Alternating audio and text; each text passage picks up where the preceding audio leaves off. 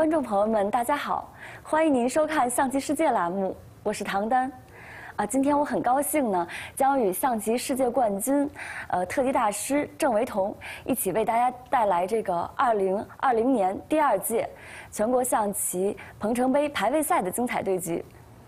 观众朋友们，大家好，我是郑维彤，今天很高兴来到中央电视台，与棋迷朋友们共同来欣赏这盘对局。这盘对局是由王天一对阵赵欣欣的一盘对局。嗯，接下来让我们看一下实战。呃，双方是以这个先指路，呃，对足底炮开局，兵七进一，好平然后三，炮二平三。啊，王天一选择了炮二平五，哎回下中炮，嗯，这时候黑方选择了象三进五。哎，下三进五，嗯，啊，这个是足底炮飞右下，也是近些年黑方最流行的一路印法。嗯，那黑方、呃红方也啊选择择了马二进三，对。然后黑方是直接走了一个卒三进一。嗯，对对对，这个时候在我的印象当中呢，嗯一般有两种走法，还有一种是这个居九进一，但是这一路变化呢，相对来说会老式一些，嗯，呃，近些年出现的比较少，啊，嗯所以还是走卒三进一，嗯，卒三进一比较流行。红的居一平二，嗯然后黑方是这个卒三进一继续过兵。然后这时候实战的时候，我看呃红方选择的是马八进九。对对对，呃，近些来年来呢，好像下的更多的是这个象七进九的变化，呃，这个棋其实也挺怪异、很新颖的一个走法啊。呃，一般我们来讲，开局不要把这象飞到边路上啊，但是这么一个走法到底是什么用意呢？郑特能给我们讲一讲吗？啊，呃，飞边象呢是这个近些年出现的比较多的一路走法。啊，就是它的这个用意呢，就是主要有几点。第一点呢，它是一个先手啊，就是这个象是飞着这个过河卒啊，是也是算抢先的一步棋。比如我们试着演示一下，对给大，家那这个卒可能要冲下来，对对对，不能让你白吃掉。对对对对对。那么红方可以再走这个马八进六，继续马八进登卒。那可能卒三进一是不是再冲下来？啊，对对对。那么红方这个时候可以走炮五进四，敲掉黑方的中卒。江，一军那可能就是十四进五先补一手。补一手。嗯。啊，这啊这个时候呢，红方再走这个炮八进四啊。嗯呃，这样子等于说，呃，红方呢就是说子力能够快速的出动。对对对，这个时候呢，虽然黑方有一个过河卒，但是红方的子力出动的速度比较快，嗯，啊，当然呢也是获得了足够的补偿，当然就形成一个比较激烈的一个开局。对，也是走的比较多啊，近些对对年来。对对对那么我们来欣赏一下实战。嗯、红方呢这个实战没有选择这个呃比较新颖的这个象七进九的一个变化，而是选择了这个呃马八进九。嗯马八进九，啊，黑棋走车九进一，嗯然后红方是车九平八，继续亮车。黑方车九平四，啊，过攻。然后红方这时候就选择了这个直接是炮五进四打兵将啊，这也是一个很常见的走法。然后黑方正好十四进五补一手，六啊，红方炮五平一对，继续打兵啊，对通过这个炮呃连续吃掉黑方的双卒，希望取得物质上的优势。嗯，是的，这棋红方下的还是蛮积极的啊。不过这里呢，黑方当时实战也选择了一个马二进一。啊，对对嗯对，黑方这个时候走了一个马二进一，其实这步棋呢，其实还是下的很有想法啊。嗯，呃，郑特，这个棋在我的印象里，呃，最早的走法呢是黑方选择的是马八进九，呃，跳边马，这样子呢也是防范了红方这个呃炮一进三下底炮的一些威胁。但是现在怎么又流行起马二进一的走法？能给我们大概棋友们讲一讲吗？啊，这个时候以以前呢，一般是走这个马八进九，主要是为了阻止这个红方炮一进三下底炮的一些连续进攻手段。嗯，但是后面在这个大家的这个拆解当中呢，发现其实黑方并不惧怕呃红方的这样进攻手段。我们可以给大家来演示一下。啊、黑呃黑方如果是按实战还是马二进一嗯，红方炮一进三，对，嗯，啊，黑方马八进九啊，肯定是不能容忍红方炮一平三去敲了象的。对。红方在，哎，啊，那这个棋红方正好是不是炮八平五又打你这个中象？对对对，啊，这个时候呢，黑方有一步巧招可以化解这个危机，黑方可以走车一平二对车，哦，直接把车对上，哦，对对，通过来呃交换红方的这个左车，然后呢呃给红方的阵型制造弱点。那我们来演变一下，那我可能先把你车给杀个回头，啊，让你这个吃回来，然后这是不是我又打着中象呢？啊，对对对，比如说红方这个时候选择炮打中下，嗯那么黑方这个时候可以走这个将五平四啊，嗯这是一个绝对的先手啊。呃，正好出将来杀底士。对对对那好像我来不及炮五平一吃你这个子。对对对，炮五平一的话呢，黑方有这个非常严厉的这个反击手段，黑方有这个炮三进七打象。呃，啊这是打着底象，对对，打着底象正好不能知士，知士杀棋。对对，这是一个绝杀，啊红方只只能能上将，对方可以再进车将军啊，红方只能继续上帅，对方再通过平炮将军啊，那只能帅五平四。平四，黑方这个时候再有一个退车啊叫杀，那么这样呢也就形成一个比较巧妙的一个绝杀。嗯是的，这棋真是巧妙，这样子正好不能偷吃子。对对对对对。那不偷吃子的话，我们来看一下红方有没有其他的应招。就是说我这里的时候，我我我吃象一将，啊、你出将很巧，然后呢，我这样的一个局面，我在要不要四六进五先补一手，补手势。四六进五呢，黑方可以炮三进七先吃将啊，先叫杀。叫杀呢，我可能还得士五进六这么先防一手。啊，对，这个时候黑方就可以正好走到这个炮八进二，啊，同时把这个红方的先手这个化解掉啊。是的，这个棋等于说，呃，黑方就是诱使红方，呃，来你来贪吃我的象吧，你吃我的象，那就给了我这个反击的一些机会。所以说，这个这种变化也是告诉我们，就是布局阶段啊，千万不能就是因为贪吃一个中象、一个底炮的一个威胁，所以，嗯，不能把自己的这个呃底线这个问题给暴露出来。所以说，红方这个时候可能按实战来讲，他也是不着急下底炮的。我们来给大家看一下实战，就是在这个局面下，呃，红方呢，所以就不着急炮一进三了，他就是很老练啊，这时候对先是漏进五补对对对对对，呃，就是先呃呃，在这边呢，先占一招势啊，避开黑方的一些严厉的反击手段。那黑方这个时候就自然而然的走了这个马八进九，对也是避免红方的炮一进三下底炮。嗯，是的。那这时候红红方方选择了选择车二进四，哎，嗯抓这个过河卒，希望能够增强一些先手。对，这好像呃正特这个局面就是双方在开局阶段就是六个大子都出动了，而且红方呢有呃红方先吃俩兵，但是黑方有个过河卒的一个补偿，所以双方这个选择了一个应该说相对比较激烈的一个变化啊。那这里的时候实战的时候，我看黑方是走了一个卒三进一，呃是下兵，那这里可能眼光招啊，我们一看是不是有一个进车对车的棋啊？这样子是不是也护住了我的这个过河卒？对对对，进车对车呢，看起来确实是挺好的，因为可以通过这个简化啊对车，然后来保住自己的过河卒。那这个时候红方呢有一个比较巧的一个招法，可以走这个炮八进二打车。嗯，就他不也不着急先对，而是用这个炮来这个对车。对对对，这样呢可以达到这个左炮右移的一个效果。啊，这样呢使自己的阵型更加的协调。比如我们稍微演示一步啊，就是啊，那只能这样。子交换。对，这样打过来以后呢，这个炮这个通过这个嗯一个战术组合来完成这个左炮右移。那么以后呢，红方以后可以走兵三进一或者兵五进一嗯啊这样的手段，消灭掉黑方的这个三路卒。等于说黑方这个三路卒一直有隐患啊，也冲不下来了，而且对对对狙出的也比红方狙出的慢。对对对，红方通过这样的战术手段，也是顺利的把这个八路车给抢先亮了出来。对，所以有时候想想这样子强行用车保卒可能行不通。对对对这里。也是一个小的一个炮八进二一个特别巧妙的构思啊，给大家提供一下。所以说这里呢，车四进四对车是不行的了，所以黑方就是也是下的很积极啊，然后卒三进一就这么冲下去。那你哎，对，呃，这个时候呢，其实对红方是一个比较大的考验啊、因为是的黑方给红方施加了很大的压力啊、对这边因为有一个过河卒，但是红方呢，实战是选择了一个我个人觉得是很有意思的一个走法吧，对啊，走了这个炮八平六，是的，他这个炮一般我们想，比如说这个炮我进两步啊，呃进四步，呃什么炮八平四是吧？这都有一定的道理啊，就是来捉这个卒。这个炮八平六也是捉卒，但是他不怕他这卒冲下来吗？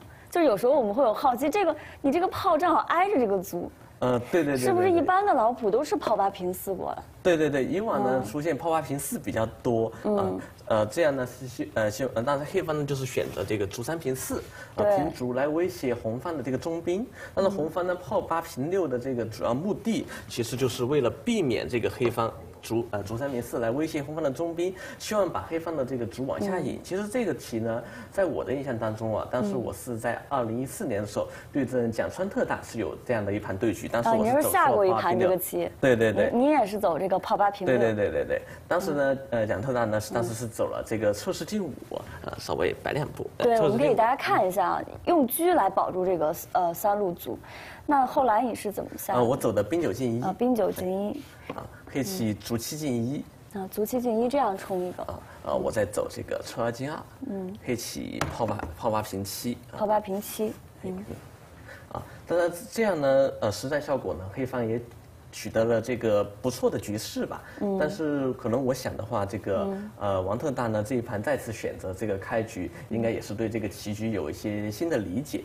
对，是的，它这个车呢，就是用这个车来保住这个卒啊，对对对也是其中一个变化。但是呢，就是双方可能都各自有研究，可能也看到政特你们这个盘对局啊，所以说有一个新的一个设想想法，就索性的这个卒就冲下来了。对对对，嗯啊，冲卒其实更加直观一些。走到这里的时候，我觉得这个局面我们真的可以好好的分析一下。其实就按政特刚才你呃你说的啊，这个车四进五，这个保卒也是一个很不错的变化。那这里这个黑方为什么这个族这么很凶悍的要冲下来？就冲下来，然后也不怕红包有什么陷阱。呃，因为呃怎么说呢？这里给大家说一下这个比赛的背景啊。呃，今年的这个呃鹏程杯的这个第二届比赛呢，它也是继续采取的这个双败淘汰制的一个赛制。这个赛制很有意思啊，呃，不像以往我们的这个单败淘汰制，呃，就是说你只要是输了一场了，你就是被淘汰了。那这次呃赛制呢，就是你允许你输两场，你才会被淘汰。呃，这场对决呢是呃王天一对阵呃赵欣欣的决赛的对决。呃，此时呢，呃王天一呢是一一路这个过关斩将，也是呃一盘未败进入了决赛。呃，赵欣欣特大呢是呃输了一场，然后进入了决赛。那么这样的一个结果就是，呃，赵鑫特大执后手这盘棋，他必须得呃求胜，他才能够呃继续向这个冠军冲击。而王天一特大呢，他这盘如果呃获胜了，他也就是获得了冠军了。所以这盘棋就很有意思啊，双方都是下得非常的积极，尤其黑方啊，他也没有选择就是布局阶段没选择这个车四进五的变化，而是就选择了卒三进一的变化。这个也就是因为这个比赛中的这个呃对局的这状态、心态，还有这个比赛这个呃这个情况，导致了黑方选择了呃这么一路非常积极的、非常这个凶凶狠的一个路走法。对对对对对。嗯，所以接下来也是非常的精彩，我们给大家可以摆一摆。红方选择这个炮六平四，躲炮六平四，嗯啊，呃，在这个局面呢，有一个比较特殊的一个背景，嗯啊。啊，呃，这个棋呢，呃，当时在二零一五年茅山杯的时候，我先手先手对阵赵信新特大的时候呢，当时赵特大选择的是车四进五，当时我们有过这样一盘对局，啊嗯，可以给大家摆一下，嗯，但是我当时走了这个象三进五，嗯，补一手象，哎啊，找了车四平五把中兵吃掉，嗯，然后他可能也是正好把你的炮，把你的卒吃掉了。对对，我把兵呃卒打掉，然后赵特大呢再把六平七，再把这个我的这个啊三路兵给吃掉啊，我当时走的兵九进一。好，拱边兵。啊，这样的局势呢就更加趋于稳健一些啊。但是这盘棋呢，因为呃因为有些呃特特别的一个背景，加上呢可能这个呃赵欣欣特大呢可能也是担心这个王天一特大可能在看过这盘对局有一些特别的准备，所以这盘棋呢也就是抢先变招啊。对他没有选择这些稳健的走法。对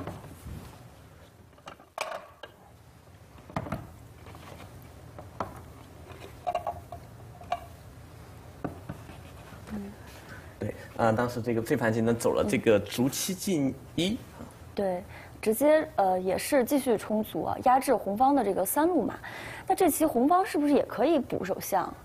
就是按照我们的惯呃对对对对对思路是吧？我这个炮平过来就让你兵冲下来了，我这个补象不正好能把你兵是不是能打死呢？对对对，补象呢、看起来是一个很直观的想法，比如我们演示一下，比如说哎象三进五啊，那么黑棋呢，因为刚才冲卒，其实这个目的呢就是要走这个车四进二，通过先手来啊占自己的这个兵行线，同时抓开红方的一路炮，那么红方炮一推二，炮一推二，嗯，黑方可以再走马一进三，哦，直接这么用这个炮来保住这个卒，嗯，正好你不能吃，吃我打过来还打着你这边的马，对对对，这样呢，如果说这样简化转换呢，红方要丢子，所以红方这个一时之间呢，也是不能吃掉黑方的这个三路过河卒。对红方可能在心理上呢，看看到这样的变化，可能就不是太满意。是的，所以呃，红方呢，也就是没有选择这个直接补象，他是走了一个车二进二。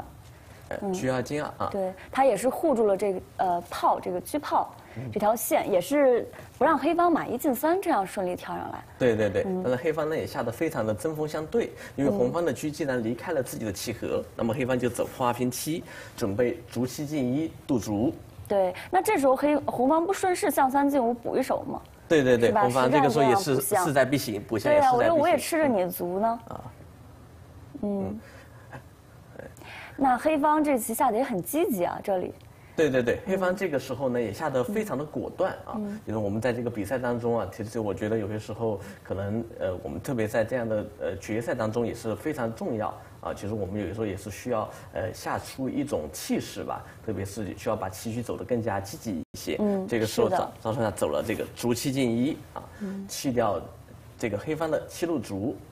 是的，这个时候局面应该进入了一个，呃，非常焦灼、呃非常复杂的一个地方了。这里呢，其实红方还是有蛮多选择，比如说下五进三飞卒啊，呃，甚至炮四平七吃卒啊，或者还有一些其他什么呃巧妙的走法。呃，棋迷朋友们稍事休息，马上回来给您带来精彩的终局。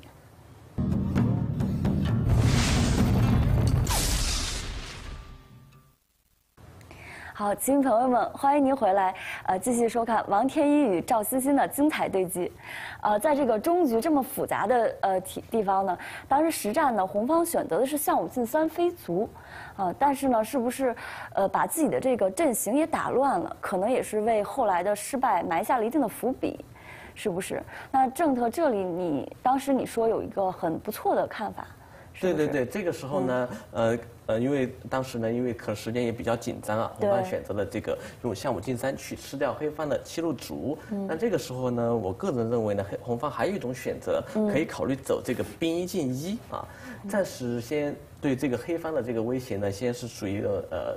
呃，置之不理啊！对通过这个兵一进来调整红方的棋形。那那黑方肯定是要卒七进一冲下去了呀，这个出七进一，兵对啊，对，红方这样可以啊，马三进一，通过进边兵，这个对这个红方的三路马挪一个马位。嗯，呃，就是这样子。那黑方是不是我我这个车也没出来，我车一平四，我先把车亮出来。啊，车一平四，那么红方可以炮四平七。对因为这个卒我也是保不住了嗯嗯。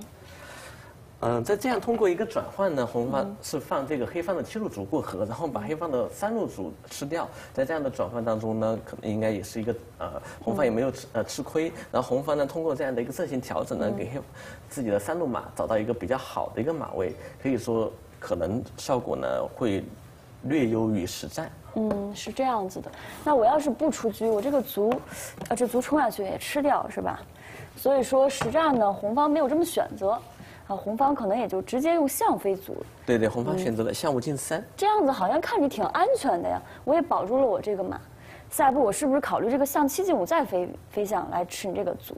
对对对对对，呃，红方呢呃在计划当中呢，肯定是准备继以后接下来再走这个象棋进五，所以黑方这个时候呢也走的非常有针针对性，走了这个车四进五车四进五先点进来，呃，准备来扫兵了。啊，这一招棋呢其实真是一一招两用的好棋，嗯，因为现在呢就阻止了红方这个象棋进五，如果此时呢红方再飞象呢，对黑方可以选择车四平一，把这个边兵给吃掉。呃，正好顺手牵羊，把这个卒吃掉，这个马正好没有根儿了。对对对，嗯啊，你看他这个车四进五呢，就是其中一个目的呢就是这样。嗯当然，呃，还有一个目的呢，就是准备要吃掉红方的中兵。那我要不要炮四进一把你车先赶走啊？嗯，对，红方的炮四进一打车是一个很明确的先手，黑方可以车四退二。退两步。对，嗯啊，红黑方通过这样一个战术组合呢，可以把这个红方的一个这个炮呢引到这个不好的位置嗯啊，同时呢给呃黑方这个车啊以后有更多攻击的可能性。对，就是故意让你长炮打我一下，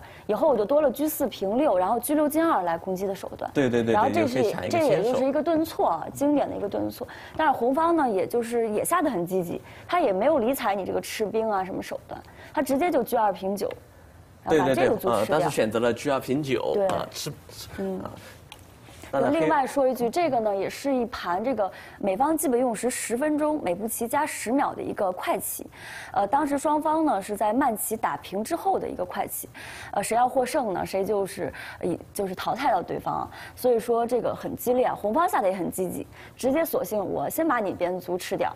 那黑方也是继续啊贯彻自己据四平五思路啊啊，居四平五。啊，吃掉红方的中兵啊。嗯，红方这里下的就是又走了一个非常凶狠的走法啊，炮四平五，这么平一个。对对对，嗯。红方走了一个炮四平五，这步棋下的可以说是非常的凶悍啊，是。希望能够呃在黑方的阵型当中呢寻找到一些弱点，嗯，但是后面来看呢，可能效果并不是太好，啊对可能可以考虑走这个下七进五，对，补手象更稳妥一些。啊。对对，因为刚才已经走到这个车二平九，吃掉黑方的一路呃一路卒了，同时也守住自己的边兵，这个时候就可以飞象啊。那我这个再吃卒，对，呃，再吃，啊正好你把那么它可以炮四平七，对。把这个三路组给敲掉啊。那这个局面下是还是一个互缠的两分的局面吗？对对对，这个时候呢，嗯我个人认为呢，还是比较接近啊。虽然红方现在是多了一个九路边兵，但是黑方呢对红方子弟还是有一些压制。嗯黑方此时呢有一个炮三进一的战术啊。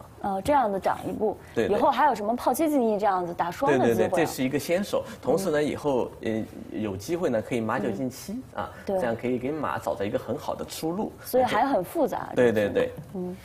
所以红方呢，但是他没有选择，他走的也是非常的凶狠。我先走个炮四平五，嗯啊，炮四平五，呃我想着你车，你这个车要是，这车是不是得退回去啊？是不是嗯我你要退回去，我这个马跳上来，或者我车八进三都涨起来。对对对对对嗯，啊，这样呢就可以红方可以达到一个战术组合的一个目的。当然，对嗯我想呢，这个也是在这个快棋当中啊，其实这一招棋呢也可以给黑方施加很大的压力。是的当然黑的黑方呢，这个时候赵星星特单呢也呃下得非常的凶悍啊，果断的选择了这个车五平七对，我们来看一下实战啊。那你吃兵正好是不是中了红方的计呀、红方这车九进一，啊我先白吃你一个马。对对对，黑方这个不能吃掉红车，对，红吃车我这中炮的力量就出威力就出来了。对对有有一个车八进九杀棋，杀棋，所以黑方只能车一平三这样子。对对对黑方只能先躲啊。这个时候是选择了一个弃子，红方这个此时呢是选择了走这个马三退二啊，嗯逃马。这里是不是呃，郑特我们要跟大家讲一下，这个实战是不是应该马三退一更顽强一点？呃，对对对，嗯。这个时候其实黑黑方弃子呢是富有很凶悍的一个手段。啊，那红方呢应该选择这个马三退一啊，嗯。先守住这个黑方啊七路炮以后有这个呃绝杀的一个手段。对，因为你现在要吃我象以后，你这个炮底线就没有这个闷攻杀的起了，但是黑方可能多了一个车七平九。对对对，当然黑方这样车七平九可以那都可以把红方是准备车九退一，对，具有退一，哎，嗯。守住炮，那么黑方，呃，必然是吃掉红方的一路马，然后炮五平一，这样子打一下，嗯黑方呢再走这个车九平八，车九平八啊啊，，红方下红方七进五，飞象，啊，黑方这个炮是不是可以躲开，保住自己的卒？对，可以保住自己的，等于说呃这样子走法，是不是红方稍亏一点？对对对，嗯。红方稍亏一点，但是可能这个棋局呢，因为红方嗯。呃还没有明确的问题，就是棋局总体来说还是属于比较接近的一个局面啊。对，所以说可能说红方在这种呃先得一子的情况下，可能还是要冷静的处理这个局面，还是可以呃拉长战线，很漫长的一个战斗啊。但是实战呢，红方呢可能就是下的有点着急了，毕竟想吃个子嘛，我吃个子，我想保留我的物质力量，但是可能也是忽略了黑方后面一系列的这个攻击手段啊。所以在这里的时候呢，然后吃卒的时候，红方选择了一个马三退二的棋。对对对，嗯，稍微有一点点贪心啊，导致了这个没办法挽回这个局面。对对，可能也是比赛当中的一种心理啊，不愿意让对黑方轻易的就把这个狮子给吃回去。对，这里我们看一下黑方的手段吃象，然后红方这时候也是走了一个车九退一啊，先保住这个车，省得红黑方有什么打底象啊、什么偷车的一些棋啊，嗯对，黑方此时呢走了这个炮三进二，炮三进二，嗯，长两步。哎，嗯啊，这个棋这步棋下的好啊。对对对，这步棋下的非常的好啊。嗯这步棋其实它有多重的目的啊。嗯其实它现在主要的呢，就是要摆上这个中炮。对一旦这个黑方的炮呢摆到中间了，就有很多战术进攻的可能性。对，呃，黑方的双车双炮卒啊，以后都会有作用。那红方也是看看多子了，我想看看能不能简化，所以走了一个车九平七。对对对，捉双。黑方就是黑方还是走了一个炮三平五，这样子红方进行了一个简化，呃，对车。对调以后呢，然后红方走了一个车八进三这样的长枪，这棋呃正特这车八进五捉炮是不是不太行？嗯，对对对，车八进五呢，黑方有一个比较巧的一个招法，是可以走这个象七进五啊，这样你吃炮有一个车七平五，这个把车捉死。对对对，嗯，所以说没办法啊，他走了一个车八进三啊，嗯，车八进三，黑棋啊，这个时候呢就计划了一个连续的进攻手段，也是也是呃，我觉得也是非常的精彩啊，我也是通过这样的手段学习到了很多。对，这里我们给大家摆一下黑方的连续的进攻手段，车七平四，嗯，叫杀，只能马上进。进三跳上来，对，防止这个闷攻。呃，这个时候如果说平车过来抓炮啊，抓炮的话，这个叫杀呢，嗯，正好出将。对对对，出将这个铁门栓了，所以他不能拿车砍。对，只能马二进三这样子。然后黑方正好顺利的这个将五平四，将五平四，嗯，继续叫杀。红方只能车八平五，填到中间。这都命令式招法。正好又炮五平七打马。对对对，红方没有办法，呃，只能马三退一啊，先逃掉啊。然后马九进七，又是个杀棋，继续。叫杀，那只能马一退三回来。对对对，红方只只能继续退马，呃，解杀。然后黑方炮七平三，炮七平三又打马，只能马三进四跳上来。呃，马三进四，对。这样子一个打底象，呃，终终于找到了这个入门的这个机会了。对。没办法呀，你这一支士，我我这拱你士，所以只能平炮。对对对。这样子气回来，这无奈了。啊，对。然后正好给吃掉。吃掉啊，红方吃掉黑卒。嗯，黑方这个走了一个炮七平五。对对，这个时候也是走的很细致，因为呃当时呢没有走这个车四金二来吃红四，因为这样呢可以红方可以对车简化，这样可以局局面可以呃透松很多。是的，所以黑方呢很老练啊，这里的时候走了一个炮七平五将。对，这样子你补士我吃士杀棋又吃马，所以只能居五平七。对，这样黑方再继续的这个居四将二吃士。这样红方一看我吃炮也不行啊，吃炮我居四平五，居五平三，把车抽了，所以红方也很无奈啊。这里走了一个对车，对车啊。这里给大家欣赏一下，然后对调，裁掉啊，裁掉马七进五将军啊。这个红方也没有任何选择。嗯，只能走这个马六退五，对，马田窝心啊。这里呢，大家可以看一下这个局面了，就是红方有一个窝心马的这个局面啊。但是虽然是没有车，但是黑方的双炮马都有组合。我们来看一下黑方精妙的招法走出来了，一个退炮。嗯，下步准备呃右炮左一进行一个闷攻杀。对，所以这里走到这里呢，红方也是啊投子认负了啊。对对对，其实这里呢其实还是非常精彩。我们要不跟棋迷朋友们稍微演示一下啊？我们如果走这个炮一平六啊，先是做一个解杀啊，那么黑方可以走马五进三将军，对，红方炮六平五，黑方可以走士五进六啊，以后呢黑方可以炮三退二。在炮三平五或者炮三平七啊，都是绝杀。对，红方嗯呃没有办法再继续防守了。是的。所以刚才这在这个局面下就选择了投子认负。对，那这里的时候也很巧啊，他也不能炮一平五。对对对，这个时候也是不能炮一平五。啊，炮一平五有一个马五进七，这个马七进六的一个绝杀。对。等于继续利用这个窝心马。而且黑方这个子力也到位了，这个老将正好是在自己的这个呃内线，也不让红方这个呃帅五平六出来。对对对。所以这个这个就是一个精妙的一个残局的一个杀法，呃，非常的精彩。呃，这盘棋呢也是最终以赵鑫鑫特大获胜。呃，通过呢这个他俩呢可能要继续加赛一个决赛，来夺得最终的这个成绩。那么下一呃下一期呢，我们再继继续给大家讲解精彩的对局。呃，今天呢这个。呃，排位赛呢也是，呃，还有还有继续一个决赛啊。这盘棋呢，双方在终极阶段呀，六个大子也是集结在一起。黑方呢也是通过了弃子这个夺势，也是一举这个获胜，非常的精彩。呃，也是非常感谢呃大家能够收看。幸运朋友们，再见。啊，再见。